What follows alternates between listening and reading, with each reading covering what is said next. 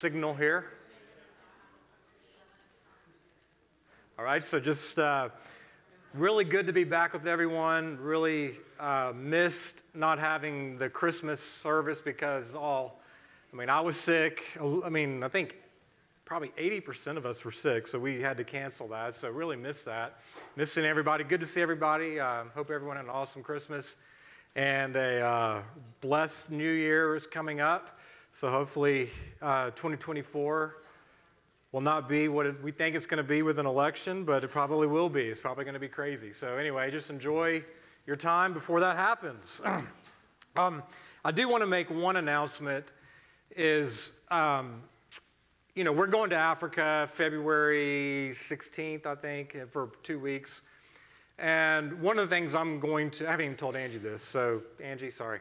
Uh, is one of the things I'm going to do is try to go on a, on a fast. So I'm going to do some, it's, I haven't decided exactly how I'm going to fast and what it's going to look like, but I'm going to start doing some fasting on uh, January the 8th, Monday, January the 8th, after your birthday. So definitely do it after your birthday. That would not be good. Uh, I don't know exactly what the fast will look like for me. I'm still praying about it. But just want to say if you want to join us in some way to do that fast for 21 days, uh, we would love to have you. So come on join us. We'll do it together. Yeah. Um, but yeah, so I'll, I, I, but I will, once I kind of have clarity on how I'm fasting, I'm going to let you know because I'm definitely not going to do a straight 21 day fast. I just can't do that with work and stuff. But know, I don't want to give you the impression I'm doing this, you know, 21 days of fasting and I'm actually eating and then you 20. anyway, so I'm going to be upfront and share with you what I'm going to be doing once I have clarity. So, anyway, so hopefully you can uh, join us in that. So, anyway, I want to get into the message now. The message, the title of this message is An Unshakable Foundation. And one of the things that I really like to do as we enter into a new year is to seek the Lord and ask the Lord, okay, Lord, what are you saying as we head into 2024? One of the things I learned from the 2019 Trump prophecies is stop trying to get a prediction for the new year. I, hope the, I hope those in the charismatic church learned a lesson from that debacle that we're not trying to get a prediction for 2024. You know, the 2024 is a year of war, or 2024 is a year to adore, or 2024 is a year to stop the snore. I don't know. I mean, so you know, some of that stuff is really strange. I don't even get into that stuff at all. But I do like to find out, okay, Lord, what are you saying as we enter into 2024? Lord, what is the Spirit saying to the church? I'm not looking for a prediction that these three, watch for these three things. It's more of, Lord, what are you saying to us as we enter into a new year? That's the approach I'm taking. And, you know, as I prayed about this, really felt like the Lord laid on my heart to, that this, is, this, this year is very vital for us to establish the, the proper foundation, that we would have an unshakable foundation. Everything that can be shaken is going to be shaken. Everything that can be shaken is being shaken, if you haven't noticed it. I mean, it's, it's rippling throughout the governments, the church. My goodness, the church is being shaken right now. Judgment has begun in the house of God, if you aren't aware of that. I mean, things that you never would have thought happened and would ever be possible are being exposed. God is exposing things that, that you, it just, you would have never even imagined these things could have happened. And they're happening, they're being exposed. God is exposing things. And so it's very clear to me that, that judgment has begun in the house of the Lord.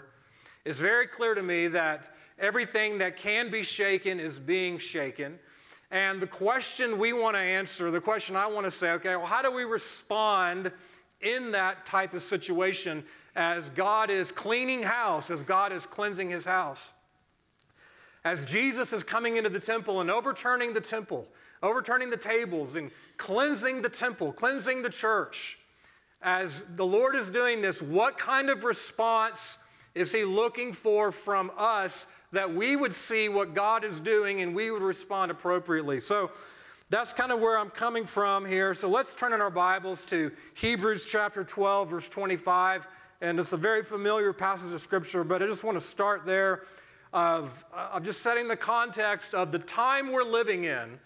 I don't think it even takes a prophet to be able to tell you Hebrews 12, 25 through 29 is taking place. You can just look and you can look at the you can look at governments, you can look at the church, you can look at finances, you can look at the everything that's going on, COVID, all that's been going on, and you can realize that God is shaking things. God is shaking things. Now, I'm sure not everything that's happening is because of God, but God is shaking things. So let's, let's look at Hebrews 12, verse 25, where the writer of Hebrews says, See to it that you do not refuse him who is speaking.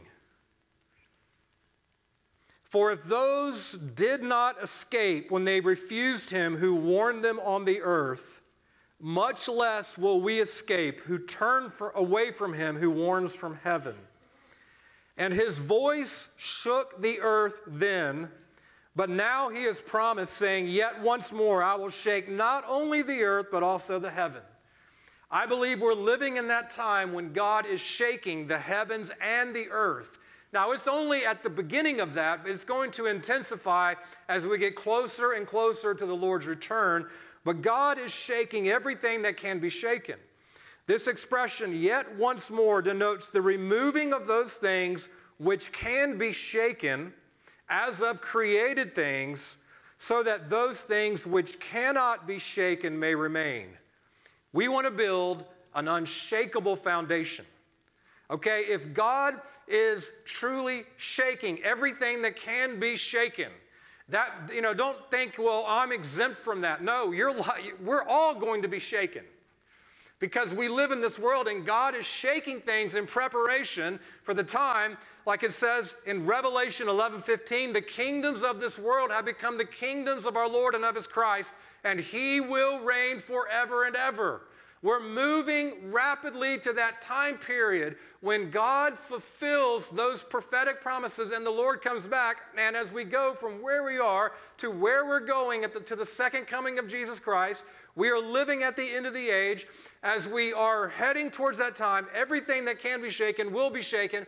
And so the question for us is if that's true, if God is shaking everything that can be shaken, and obviously there's much more involved, there's, there's the sinfulness of man, the depravity of man, there's demons, there's all these things wrapped into it. But if God is moving to shake those things, what kind of foundation must we have so that we are unshakable?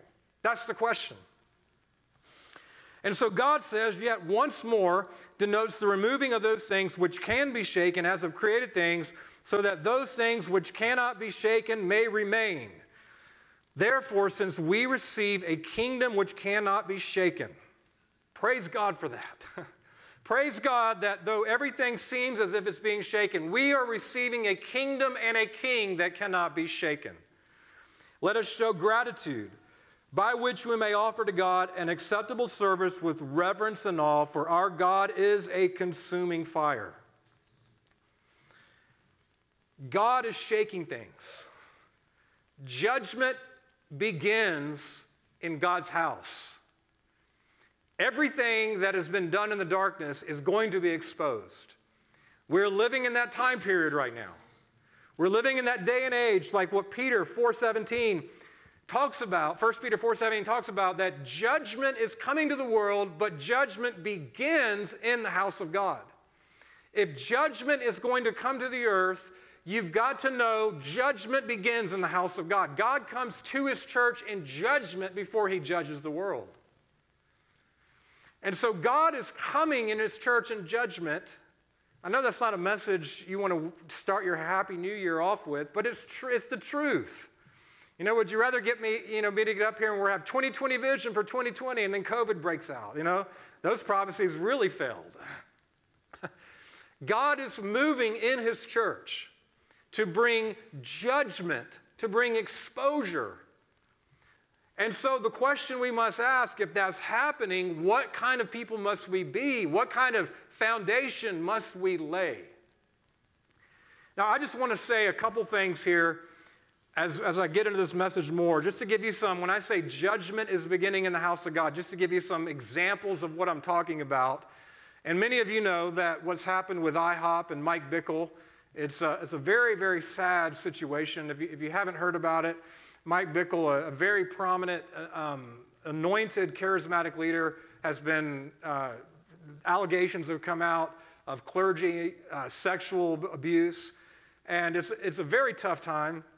It's, it's something I, when I heard about it in October, it was the, the very last thing I thought would ever happen. I mean, Mike Bickle to me was a, was a mentor. I never met him. Um, he was a mentor. He, he, was, he was someone that I listened to. Um, almost every teaching Mike Bickle released from about, two, from about 1997 until 2012, almost 20 years, I listened to every single thing almost that he said. I mean, he, God really used him in my life, and he would be the last person in the world I thought would ever, this, this would ever happen to. I remember in 1996, our um, Noel Mann, who came to minister at our church, he, it was just a, a real move of God for us. And Noel Mann, um, through the prophetic word of the Lord, said that this church, Restoration Life, is called to be a John the Baptist, is called to be a forerunner in the spirit and the power of Elijah. You're called to be an Elijah army that makes ready the, the way of the Lord and makes the, the Lord's people ready. And you know, we, we were hearing this going, okay, is anyone else out there talking about this? You know, this this sound like, okay, this one, this one guy living in Brisbane, Australia comes and says this. Is, you know, is this really the Lord? And then right around that time, I, I don't know, I don't even know how many times, I can't remember that far back, but it seemed like months later, uh, Mike Bickle had a, a, Passion for Jesus conference in 1997, and I heard he preached a message I've never to this day have heard a message, even my messages aren't like that. that was a joke. But even to this day, um, I've never heard a message like this. I mean, it was like, oh my gosh. I've never heard, it was, I, I can't even describe it. It was so absolutely like God breathed, God speaking when he was, he was calling for one million forerunners. And this was right after Noel had given us that word. And um, it, it marked my life. It marked mom and dad's life. It marked our lives. And we knew, okay, this is the reason we live. This is the reason we breathe. This is our purpose. This is our divine commission. We are, we are called as forerunners in the spirit and the power of Elijah to make ready a people prepared for the Lord. And so, again, after that, I listened to every single thing Mike Bickle preached. And, and so, just, just to say all that, I have been uh, deeply, deeply grieved since October the 28th uh, when I found out about the, the scandal and just have been grieving, have been processing, just trying to figure out how in the world could, could this happen? This, how, how, could, how, could, how could he preach this kind of message, this forerunner message, but be living a secret life that was, you know, how, how could that even happen? I was just really grieving by, grieved by that. I've been processing this. And so some of this message that I'm going to be talking about is coming from my processing of that situation. I just want to share that with you, just to be upfront. Is, is okay, these are the things that I felt like the Lord is really trying to emphasize, and I've, I've really been thinking about. But uh, just wanted to set that context. But as we head into this new year, as God is judging his house, as exposure is coming to the house of God, we've got to make sure that we're building on the right foundation, the only sure foundation, Jesus Christ. See, are we building on the things of God, or are we building on the God of all things? Are we building on Christ or the things of Christ? We can easily build upon prayer and fasting. We can easily build upon spiritual warfare. We can easily build upon the, the gifts of the Holy Spirit. We can easily build upon eschatology and Israel in the end times, even the bride being made ready. We can build on all these, these things, but are we building on these things or are we building on Christ? Are we building on the person of Jesus Christ? Is that is he is the only foundation that is going to sustain the shaking that's coming is are we building on Jesus Christ, the person of Jesus Christ, and upon his words that he spoke? Are we building upon Jesus Christ and his voice to us? You know, Jesus, it's not just his words he spoke in the Gospels, but his living voice that he speaks to his sheep. My sheep know my voice, I, I know them, and they follow me. that Jesus Christ, through the indwelling Holy Spirit, is still speaking today, and we want to follow his voice. And so, building on the only true foundation that is not going to be shaken when everything can be shaken is the person of Jesus Christ. We've got to come back to that foundation, this person, Jesus Christ. Amen. Amen. Is test yourself. Test yourself. Are you truly building upon Him? Are you building on the things of God? Have the gifts of the Spirit become more important? Has Israel become more important? Has the end times become more important? Has, you know, you can name a, a, thousand other doctrines that you can build upon and get focused on. You can actually lose focus upon the man, Jesus Christ. And we want to come back to that foundation. The only foundation that will not be shaken is that, is that foundation of Jesus Christ. Let's turn to 1 Corinthians chapter 3, verse 10. Paul was talking, I, I love this. Paul was talking, and he's, as an apostle, he called himself a wise master builder. He was constructing a foundation, he was building the house of God. And Paul said, according to the grace of God which was given to me, like a wise master builder, I laid a foundation, and another is building on it. But each man must be careful how he builds on it. Catch that. We must be careful how we build upon the foundation. Are we adding to it our own selfish ambition? Are we adding to what we want? Are we, are we building on that foundation, you know, things that would distract us from the person of Jesus Christ and those selfish things? We got to be careful how we build. We got to be careful how we build. For no man can lay a foundation other than the one which is laid, which is Jesus Christ. See, every one of us in the day of judgment are going to be evaluated what did we build our lives, our churches, our families, our ministries upon? Did we build them upon selfish things and things we could glean and things we could get, even using the name of Jesus Christ to get our own will and our own way? Or did we build properly on the foundation of this man, Jesus Christ? Because everything not built on that foundation by his words, by his voice, by his spirit, is going to burn in the fire of God's judgment. Help us. Help us, Lord. Now, if any man builds on the foundation with gold and silver and precious stones and wood, hay and straw, so gold and silver and precious stones, those things, and I feel intimidated because I have a jeweler staring right at me, but I'm pretty sure those things would survive the fire maybe. Uh, but the wood, hay, and the straw would be burned by the fire. And so Paul's saying each man's work will become evident, for the day will show it, because it is to be revealed with fire. The fire, remember we read in Hebrews chapter 12 that God is a consuming fire. God is a consuming fire. He is a jealous God. He is a consuming fire. Everything that is not like him is going to be burned up in the fire. And so, everything that is not like his son, everything that is not built upon his son, everything that is not built by his son in us and through us is going to be burned in the fire. So, it's, it's wise to evaluate our lives and ask ourselves are we building on the right foundation, which is Jesus Christ? Are we building on the right foundation, which is Jesus Christ? because the day the, the, the, the work will become evident.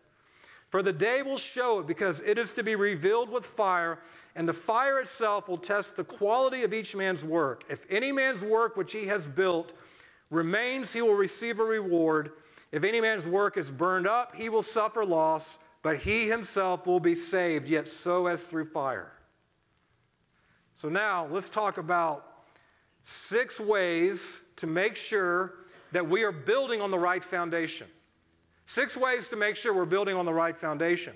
I don't know about you, I'll just tell you, I don't want my life to be burned up in fire. I don't want my life's work to be burned up in fire. Even though I'm saved, my life was wasted because I wasted it doing what I wanted to do, even in the name of Jesus Christ, to build my own kingdom. I want to do it by the Spirit. And I only want to do what He's saying to do, when He's saying to do it, and how He's saying to do it. So, number one is to build your life upon Jesus Christ and His words. Build your life upon Jesus Christ and His words. Let's turn to Luke chapter 6, verse uh, 40, 46. Luke chapter 6, verse uh, 46, where, where Luke is describing his version of the Sermon on the Mount, and Luke is recording what Jesus said, and he's, he's asking the people, Why do you call me Lord, Lord, and you do not do what I say?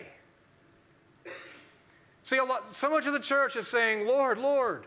And the Lords would say, If you are going to call me Lord, why are you not obeying me? Why are you not doing what I said? Why are you not obeying my voice? Why are you not obeying my words that I wrote or that were recorded in the Gospels? Why are you calling me Lord, Lord, but not do what I say?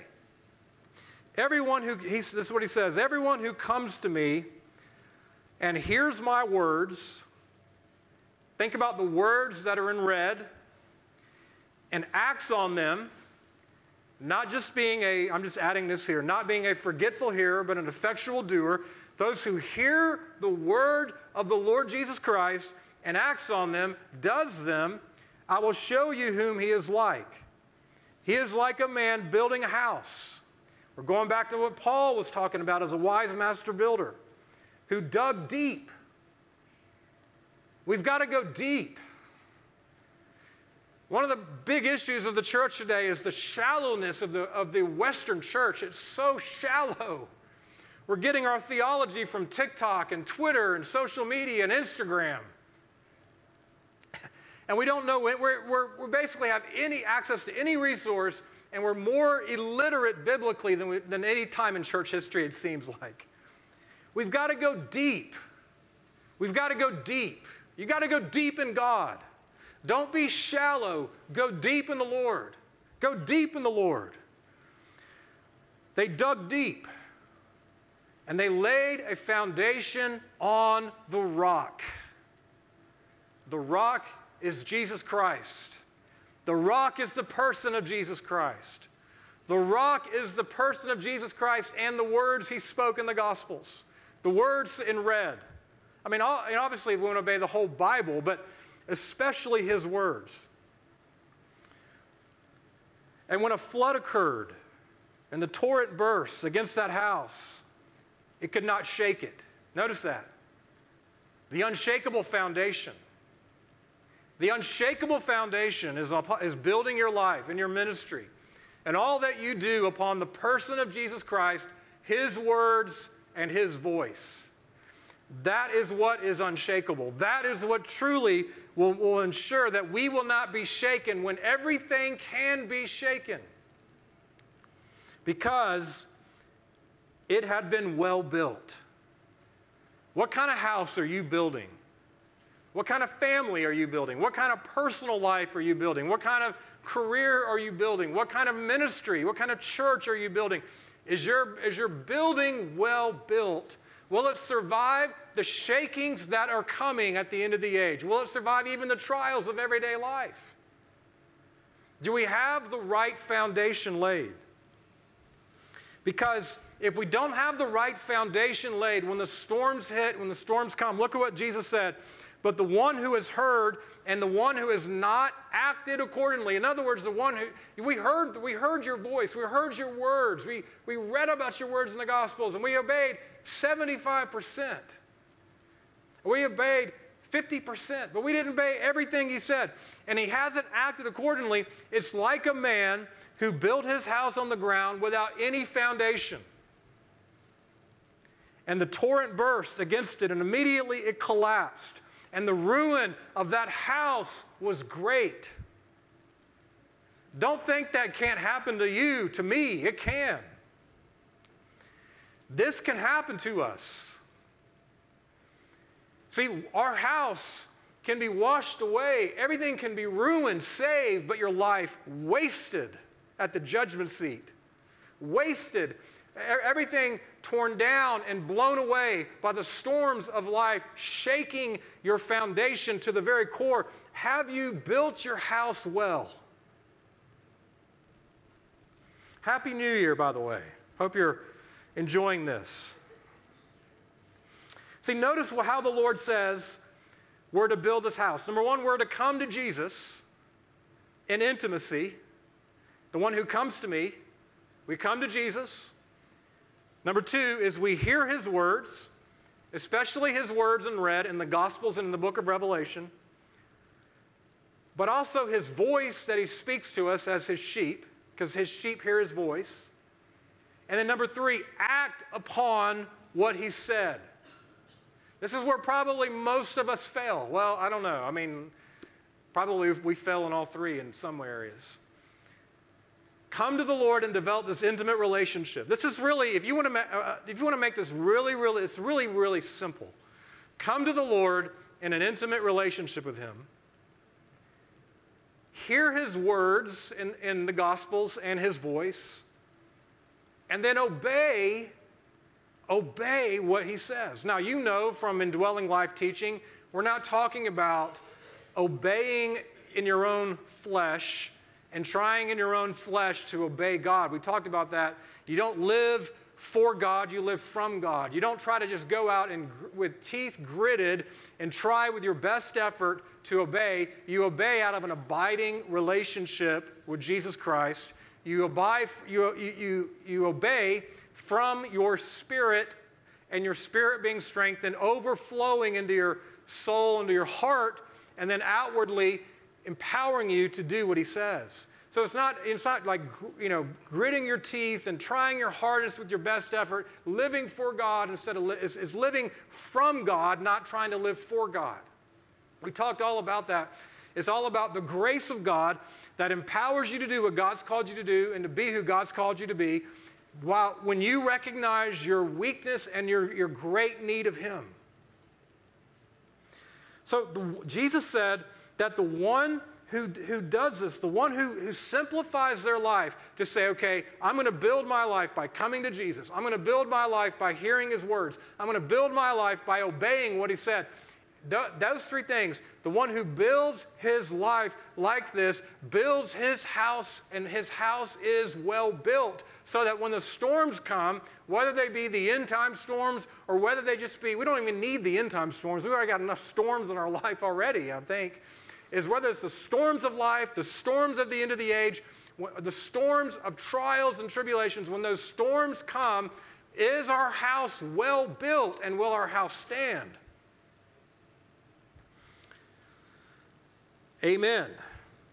We're not building on a doctrine. We're not building on a favorite thing we like in Scripture. We're building on the person of Jesus Christ.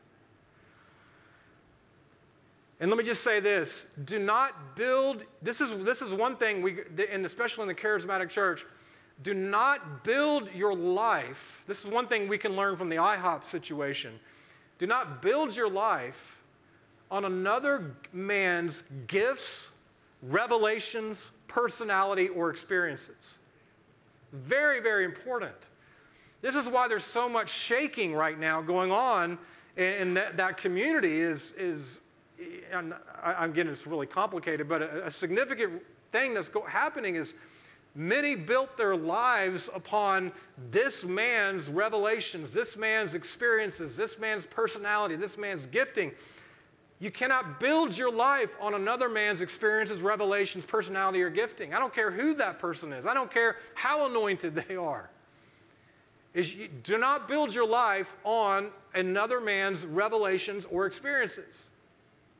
You know, I learned, I learned this the hard way. You know, when I made a transition from being a good Baptist in about the mid 90s, I, actually, I was never really a good Baptist. I was a, living in rebellion as a Baptist because But I, I, had about three or four years I was a good Baptist in college. Um, three or four years as a good Baptist. But I, I, made the transition from being a Baptist to a charismatic, where I was trying to learn how to minister in the gifts of the Spirit and flow in the gifts of the Holy Spirit. Jack Deere's uh, books, Surprised by the Power of the Spirit and Surprised by the Voice of God, were so incredibly helpful to me as I learned, okay, this is, you know, being, he was a, a former professor who taught that the gifts of the Spirit had passed away. And, but now he believed the gifts of the Spirit were for today. And he told all these stories, and he was telling these incredible stories about Paul Cain. And I, I just grew up hearing these stories about, you know, I was in my mid 20s, hearing these stories about Paul Cain, and, and like, whoa, You mean there's actually someone alive that hears God? It was like on the level of being biblical stuff. I mean, just encountering angels and, you know, I, I, can't even think of one off the top of my head, but just these profound, incredible experiences, you know, going places and there would be an earthquake and calling out people's names and being exactly the situation of this. I was like, this is incredible. I grew up on all of these Paul Cain stories. And so I, I put Paul Cain on this pedestal, like with the Apostle Paul and the Apostle John and Daniel. And, you know, that was my own issue. That was my own fault. And then, you know, I don't know how many years ago, 10 years ago, 15 years ago, it was revealed that Paul Cain was a practicing homosexual. And you want to talk about the shock of a lifetime. Like, how in the world could someone have that type of revelatory prophetic gift and yet be a practicing homosexual, living in sin? And it was a huge lesson for me to realize I cannot build my life on another man's revelations. I cannot build my life on another man's experiences. I cannot build my life on another man's personality or influence or platform.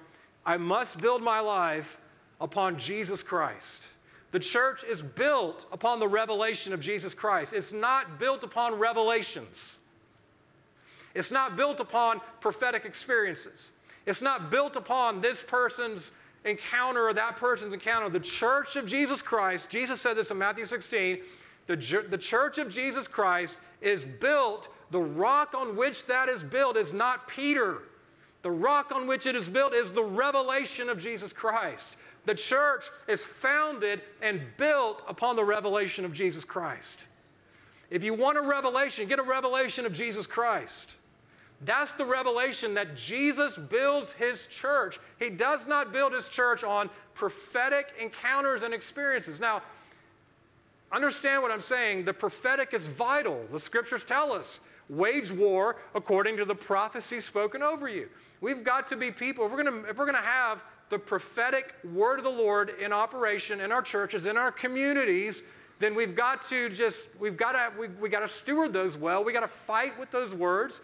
We've got to remember what God has spoken, and we got to see, we got to obey what He's spoken after we've tested it, after, you know, it talks about this is one of the lessons that really hit me after the failed Trump prophecies in 2020 is examine everything carefully. That's where the charismatic church has really failed is we don't want to be one of those people that are like we don't want to be a Pharisee who has a religious spirit who doesn't critically examine the prophetic word spoken and hold fast to what's good but the scriptures tell us to do that. We've got to do that. We've got, you know, I don't care if it's me or whoever, whoever's giving a prophetic word or teaching scripture or whatever it is, we've got to examine everything carefully and hold fast to what is good. If it's not the Lord, we don't need to cling to it. We got we to hold fast to that which is the Lord. I made, I've made that mistake many times.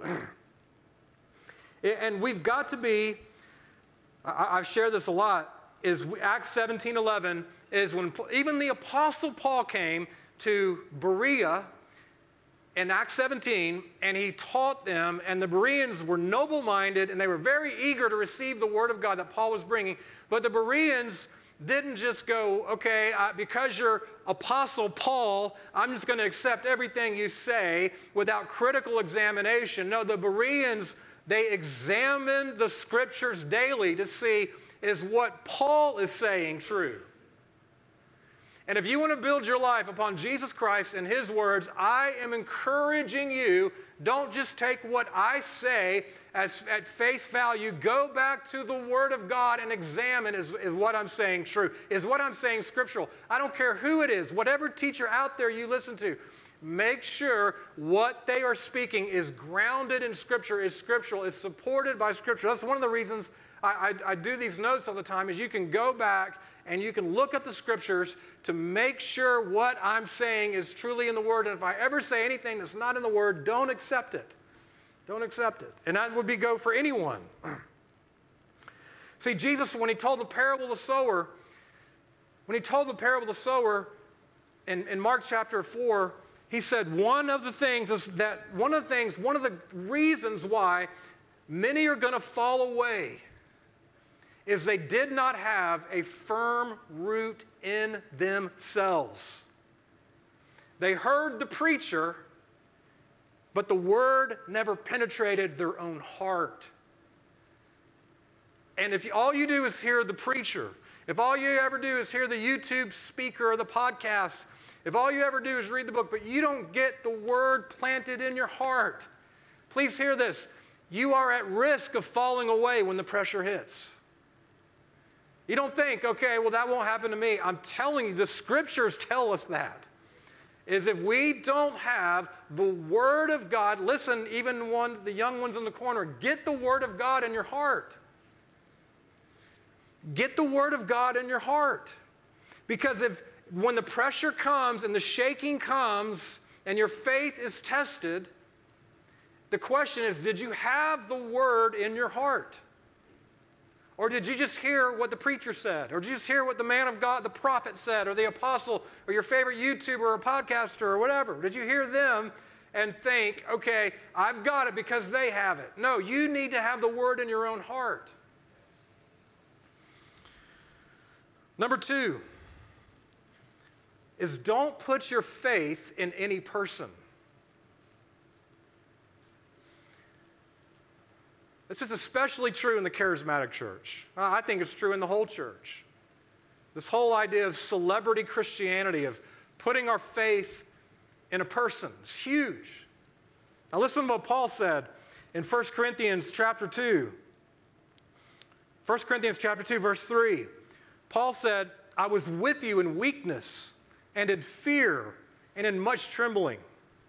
And my message and my preaching were not in persuasive words of wisdom, but in a demonstration of the Spirit and of power. Listen to what Paul said so that your faith would not rest on the wisdom of men. Notice what Paul, he, Paul was coming in, he was trying to build something in, in Corinth. He was trying to build God's house in Corinth. And he was so grieved and burdened. Even Paul was like, I do not want you to build and put your faith and put your trust in me. In fact, I'm coming in weakness, I'm coming in fear, I'm coming in trembling because you can put your faith in my own wisdom. You can put your faith in my experiences or my revelation or my information or my personality or my platform or my influence or whatever it is, my gifting. And Paul said, I am coming and preaching in such a way that you would not put your faith in the wisdom of man, but in the power of God. Don't put your faith in a person. Put your faith in Jesus. Put your faith in Jesus. I've made that mistake many times. Putting my faith in a person putting my trust in, and I'm not talking about we're going to become disillusioned, I mean, disillusioned and cynical. I'm not talking about becoming cynical or distrusting or any of that stuff. But there's a difference between trusting trustworthy leaders and putting your faith in leaders. You see the difference? We can trust trustworthy leaders, and the scriptures tell us to honor leaders.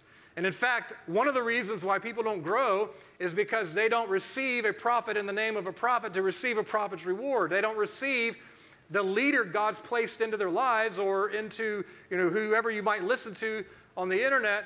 We don't, you don't receive them as that messenger of God, and therefore, without that honor, you can't receive what God wants to speak to you through them. Okay, so there is this place of honor, there's this place of perception determines reception. There's all that's true, but at the same time, it's easy to shift from that place of honor and receptivity into placing your faith and your trust in that person. That, see what I'm saying? We should not ever place our faith or trust in any man or woman. That's only for Jesus Christ. Our faith and trust is in Him, not in any leader in the body of Christ. Jeremiah said in Jeremiah 17, verse 5, he said, Cursed is the man who trusts in man and makes flesh his strength, whose heart departs from the Lord. See, Jeremiah was saying, Be very careful that you don't trust in man. Be very careful that you don't trust in leaders. Be very careful that you don't place your faith in leaders. No matter how anointed, how gifted, how revelatory, how cutting edge, how famous, how influential they might be, your faith is to rest in Jesus Christ and Him alone. Now, again, we trust our leader. We trust those who are trustworthy. We honor leaders because that's the key to receiving from the Lord. But we, our, our faith and our trust is in the person of Jesus Christ and our relationship with Him. See, Jesus even knew this. In John chapter 2, Jesus, John wrote about this and said, But Jesus on his part was not entrusting himself to them, for he knew all men. And because he did not need for anyone to testify concerning man, for he himself knew what was in man. Human depravity is real.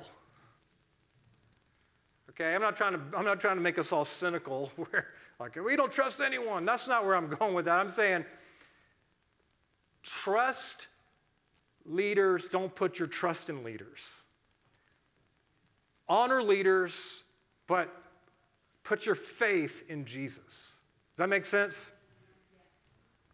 See, the Corinthian church had this same problem. This is, this is a massive problem in the church today. Whether it, I think it's in Africa, it's in America, it's all around the world. We have these, these people who are following these famous leaders.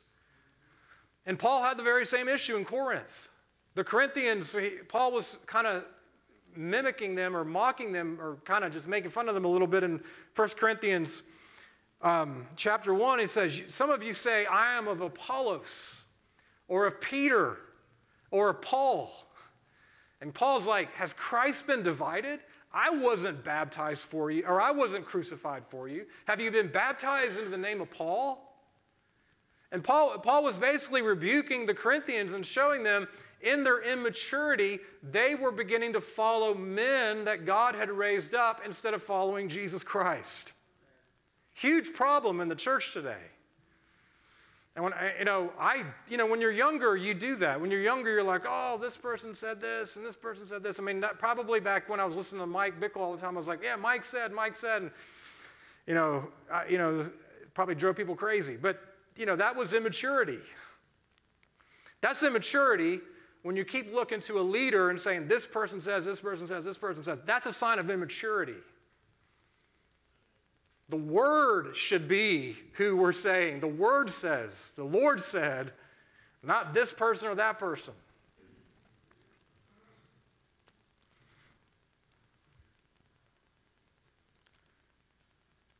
Number three is don't be deceived.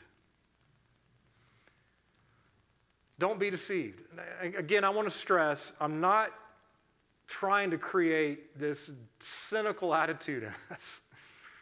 What I'm trying to get at is, is we have a responsibility when we hear anything taught or we hear anything that the Lord is saying, is we have a responsibility to test what is spoken. We have a responsibility to test what was heard and to make sure that we're not misled. Because, you know, one of the first things that G, when the disciples asked, what, What's the sign of your coming in the end of the age? One of the first things Jesus said in Matthew 24 is He said to them, See to it that you are not misled, see to it that you are not deceived. Do you realize that you have a responsibility not to be deceived?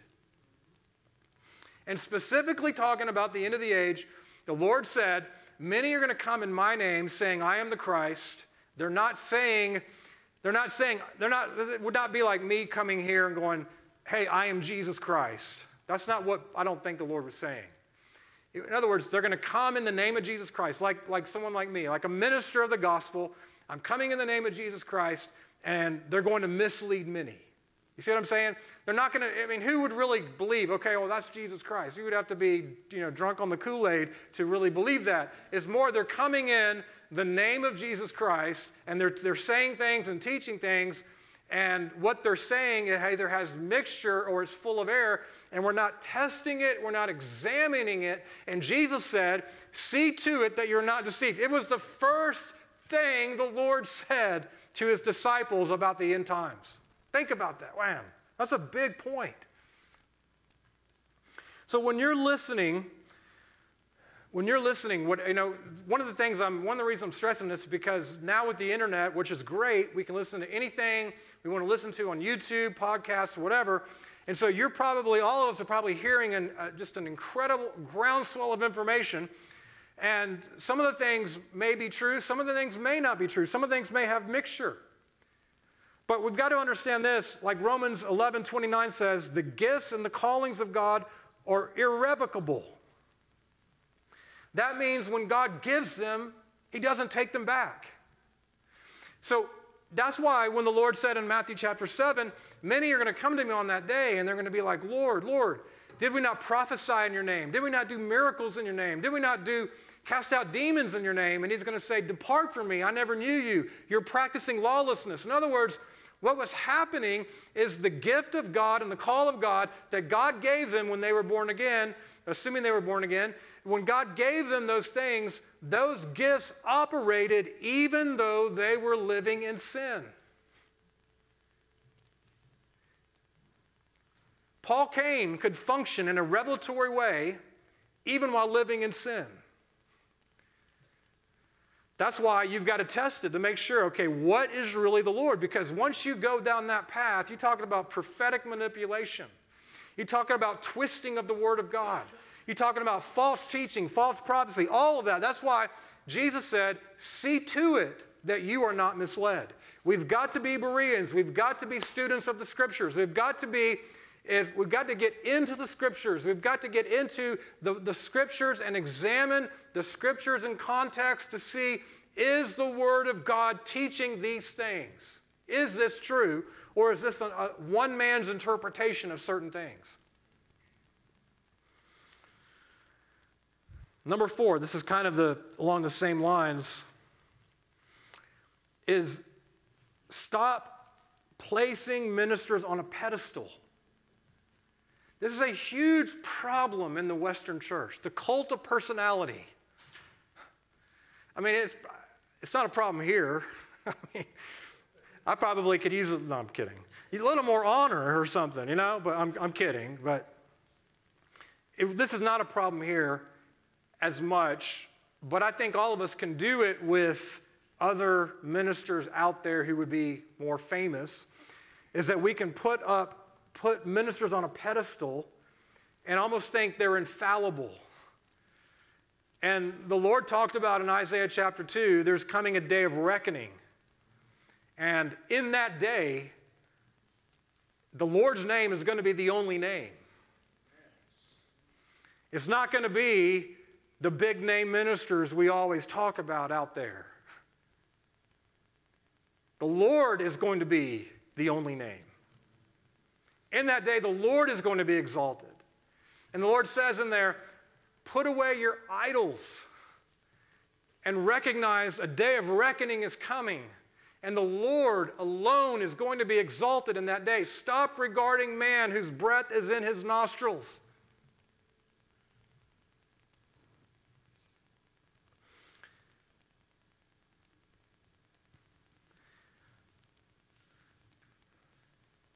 This cult of personality that is so prevalent in the charismatic church. It's, well, it's in the evangelical church as well. It's in really the whole church. Just, I mean, it's like, it, I mean, if you've seen it, and we probably all have done it to some degree, probably none of us are doing that a lot now, but, you know, when you see it, and, you know, it's really a sign of immaturity Jesus Christ is going to be exalted in that day and no other man. And so, here's the thing that, that happened in Isaiah's day Isaiah chapter 6, verse 1 Isaiah said, In the year that King Uzziah died, I saw the Lord, and the train of his robe was filling the temple. And after that, Isaiah was commissioned as a prophet by the seraphim, coming with the burning coals of fire from the altar of God. Isaiah was commissioned as a prophet of the Lord, but it was not until King Uzziah died that Isaiah received that commission. Uzziah was this leader, this king in Israel who had incredible amounts of success, incredible powerful military accomplishments. Prosperity flowed into Israel in, in, a, in, an incredible way, and the nation of Israel likely turned Uzziah into an idol, and they likely put their trust in him. And they turned their focus away from the Lord onto a man that God had blessed, and God had blessed him. But Uzziah became proud because of the success, and Uzziah became presumptuous, thinking, Well, I have this favor of God on my life. I can then do whatever I want to do. And he went and did what only the priest could do, and he was struck with leprosy, and he was, he was cast away from, from the people for the rest of his life, and God brought him under judgment. And it's when that happened that Isaiah said, When, when King, in the year that King Uzziah died, I saw the Lord. And sometimes the idols of man, even men, great ministers of God, have to come down before we can see the Lord. Before we can see the Lord and recognize that it's the Lord who is speaking, not this man or that man or, or this other man or woman or whatever. It's the Lord. It's in the year when King Uzziah died that Isaiah saw the Lord and the train of his robe filling the temple. Is when in that time that I the, the true word of God and the ultimate purposes for Israel were revealed to the prophet Isaiah. And I believe whenever God brings down the house of Eli, whenever God brings down the old, corrupt, blinded, depraved, uh, corrupted house of Eli, that there's always coming forth after that a Samuel. There's coming forth Samuel ministry. There is coming forth. I'm just, I believe this is the Lord, the word of the Lord for as we enter 2024, is when the house of Eli comes down, there is coming the Samuel ministry. There is coming a company of Samuels, a company of prophets. Samuel was the prophetic voice that led Israel from transition from the judges to King Saul to King David. Samuel was that transitionary prophet that brought in the true priesthood that brought that was responsible for the bringing down of the house of Eli to bring in the true prophetic word of God to Israel to transition them to the kingdom of David. It's prophetic of the company of prophets God will raise up in these last days who will bring us from the, the kingdom of Saul, the Antichrist, into the kingdom of David, the greater David, Jesus Christ, as we transition from this age, known as the church age, into the kingdom age. God will raise up prophets, a company of prophets. I believe that the greatest move of God is coming, the greatest prophetic apostolic company we've ever seen is coming. God is raising up forerunner ministers, forerunner vessels to prepare the earth and the church for the second coming of Christ. And it takes time. Sometimes when the house of Eli grows blind and corrupt and begins to prosper in the name of Jesus Christ in a, in a corrupt way, I'm not against prosperity, in a corrupt way and defiling the house of God through sin that God brings down, and he says, Ichabod, the glory has departed. God raises up a Samuel. God raises up a company of Samuels. And I'm telling you, I'm telling you, I believe there is coming a company of Samuels that are coming to the earth that are, go- that are not interested in the, in the world, not interested in even kingdom success. Their ministry, like Samuel, is before the Lord. Their ministry is to the Lord. They're, they're those that, that hear the voice of God and bring in a new priesthood, a bridal priesthood. The priesthood after the sons of Zadok, the priesthood in the order of Melchizedek, whose ministry is vertical to the Lord.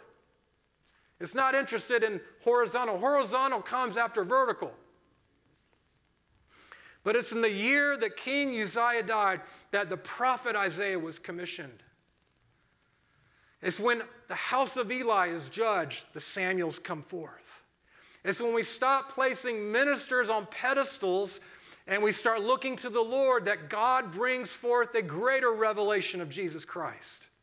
That's what we need.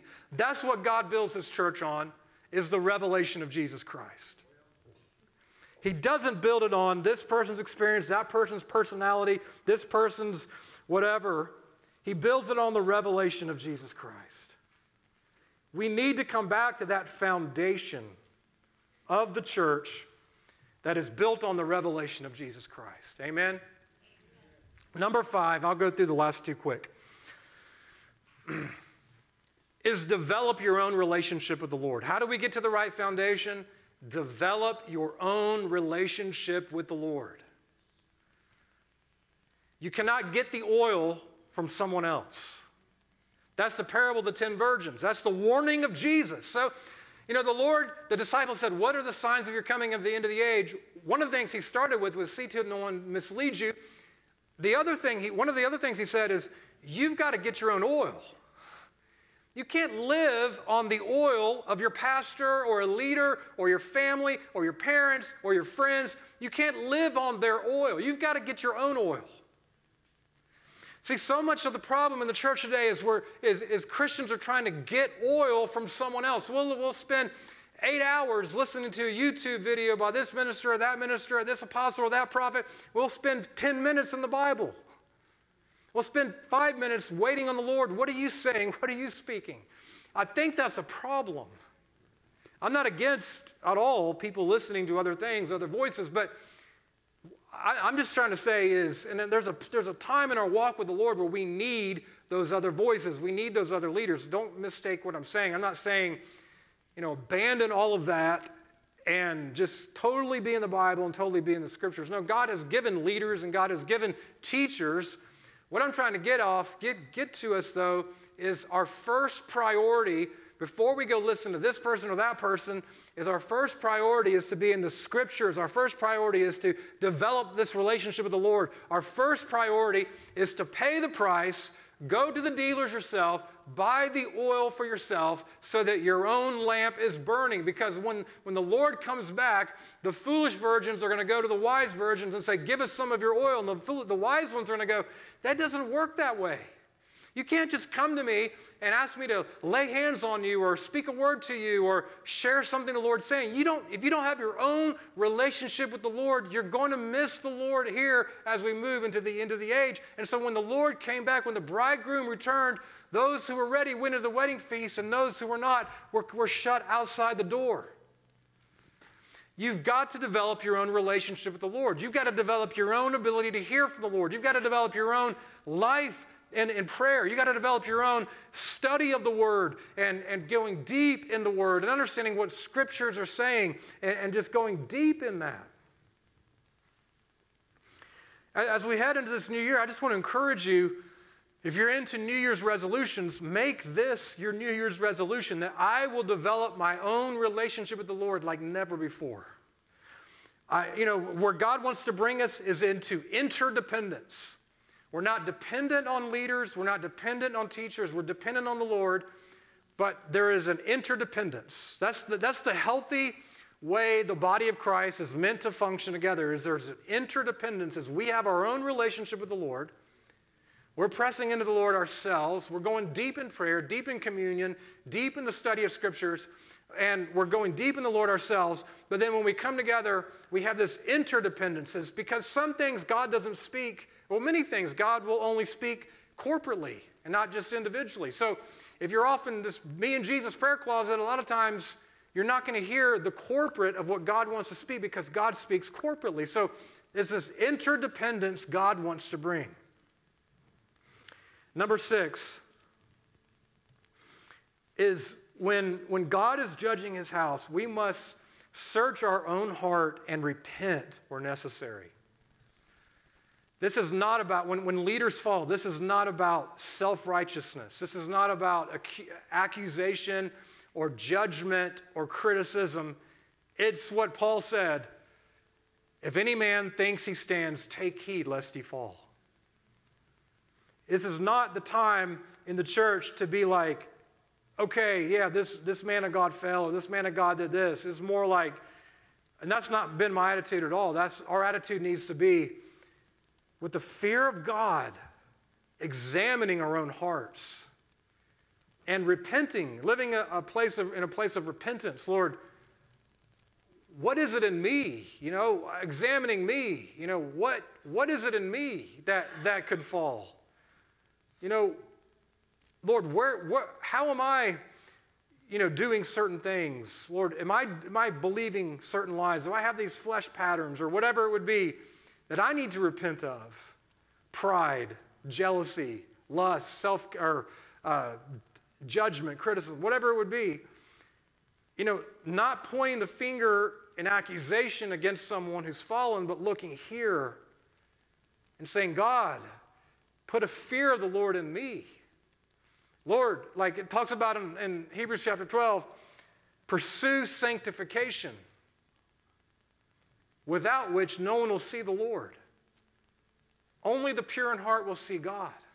Like, God, I, I do not want to, I do not, I want clean hands and a pure heart. I, I, want, I, want, I don't want anything in me of the flesh and my weakness to defile. I want to live a holy life. That's where I'm coming from. That's where we need to come from. For I'll, I'll end with this scripture is 1 Peter chapter 1 verse 14. Peter said as obedient children do not be conformed to the former lusts which were yours in your ignorance. But like the Holy One who called you, be holy yourselves also in all your behavior. Because it is written, You shall be holy, for I am holy. If you address as Father the one who impartially judges according to each one's work, conduct yourselves in fear. So that means the fear of the Lord. During the time of your stay on earth, knowing that you were not redeemed with perishable things like silver or gold from your futile way of life inherited from your forefathers, but with precious blood, as of a lamb unblemished and spotless, the blood of Christ. As, as Peter is saying, be holy, for I am holy. Live your life in fear, not, of course, that doesn't mean like the spirit of fear, it means the fear of God. To live your life in the fear of God, knowing the price Jesus paid to purchase your salvation. Knowing the price Jesus paid as the atoning propitiatory, propitiatory sacrifice, the atoning sacrifice that Jesus became, that where he became sin and was judged by God so that you as you could receive his salvation and his forgiveness, his blood. And, and Peter's saying, don't regard this as something common. This is, a, this is the precious blood of the Lamb. Don't live your life in self centeredness and selfishness and living by the flesh because you are redeemed with precious blood. It cost the Son of God his entire life to bring you near to God. Don't regard the blood of the covenant by which you were sanctified as a common thing and sin and live a lifestyle of sin. Be holy because I am holy. Live in the fear of God that we would not want to ever displease the Lord, displease Him. God, help us. I'll just close here, just prayer.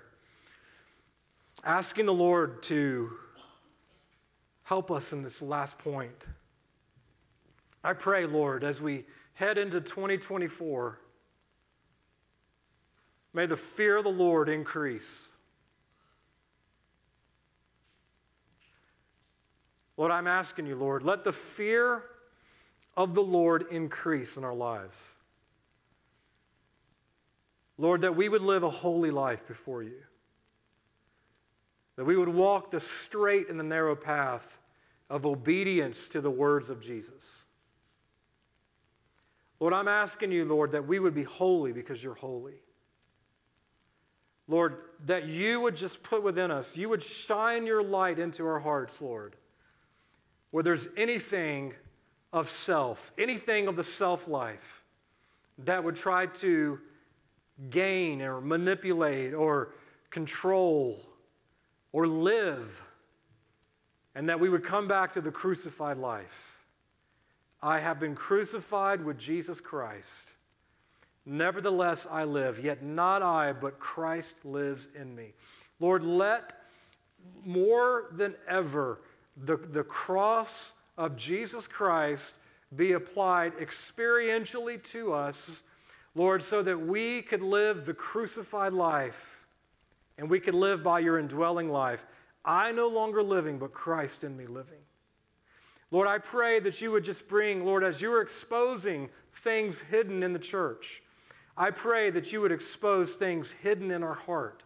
Lord, that you would do that. I'm not talking about public exposure, I mean just reveal those things to us, those patterns, the, the ways, the thinking patterns, the, the, the lust and jealousy and judgment and selfishness and pride. Lord, I just pray that your, your two edged sword would penetrate.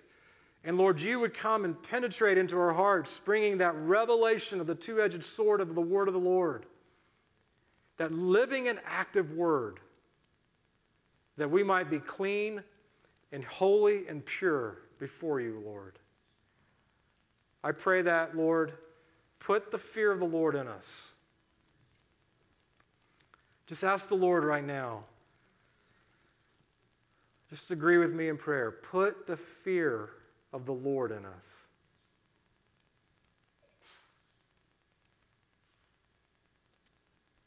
We've lost it, Lord. We've lost the fear of the Lord.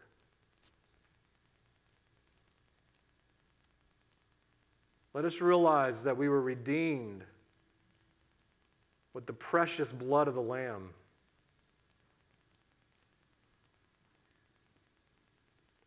Let us not regard the blood of the covenant by which we were sanctified as common, as just the blood shed by any man. But we would realize the eternal Son of God became a man, incarnated in human flesh forever. God dying in our place, His blood shed for our sins. God, that we could approach a holy God by the blood of the Lamb. And let us live in the fear of God Lord, in the fear of doing anything that would displease you, Lord, doing anything that would offend you, doing anything, Lord, that would defile our lives. Like it talks about in 2 Corinthians chapter 7, having these promises, beloved, let us cleanse ourselves of all defilement of flesh and spirit, perfecting holiness in the fear of God. I pray that in the name of Jesus, Lord. Let us start this year in repentance. Lord, where the church around the world has tried to water down repentance because it's not a popular message and it doesn't grow the church, let us be a people of repentance. Not just confessing our sins, but repenting. A mindset change that leads to a change in behavior and lifestyle. Lord, let us be a people of repentance, Lord. Even release to us a spirit of repentance, not where we just, just are miserable all the time, but Lord, truly, we're truly living sensitive to you, Lord. We're truly living tender to you. I pray that, Lord. Repenting in the slightest of things, Lord. Let us truly live in that light of repentance, Lord.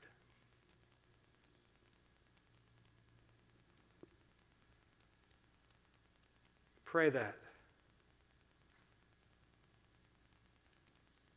Let's just start this year with clean hands and a pure heart.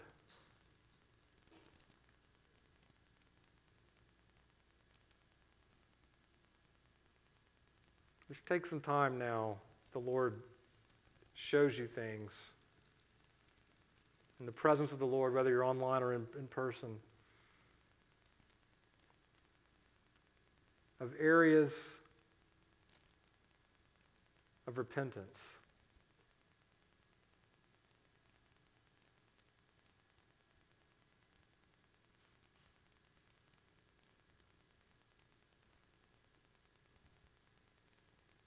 Lord, we want to please you. That's, what, that's all we want. Let's not be casual in how we live before you. Lord, we reject this hyper grace teaching that says because Jesus died for our sins, you're okay with us living in them. That's nonsense.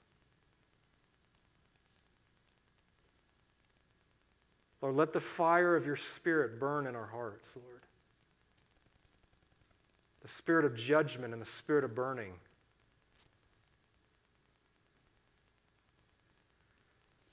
Let us be like the gold refined by fire, Lord, that we might be like that pure gold.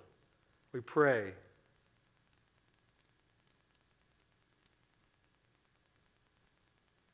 Lord, I pray that as we enter into this new year that we would see the Lord as our idols come down.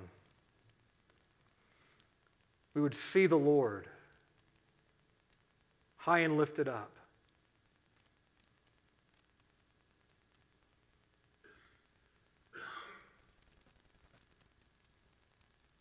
Lord, we ask you for those things, Lord. Pray that we would leave this place filled with the Holy Spirit, filled with the Spirit of holiness. I'm just asking you, Holy Spirit, you are the Spirit of holiness. Would you fill us, Lord, with your presence right now?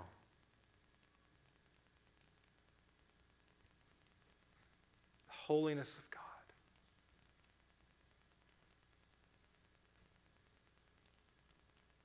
And I pray that we would build our lives on the right foundation.